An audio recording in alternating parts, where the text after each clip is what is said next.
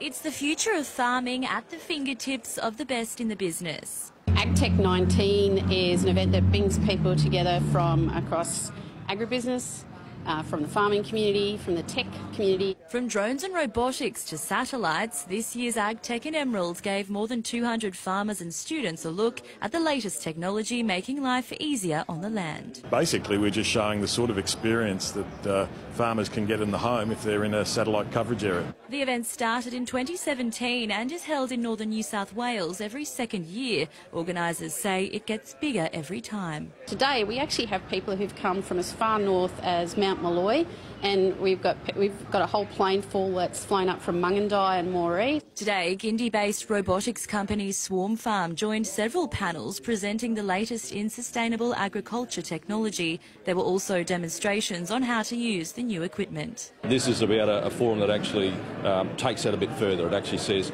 uh, this is uh, the industry that it is and was, and this is where we're headed to. And it's about innovation and technology, and it's about really changing Australia. Rachel Baxter, 7 News.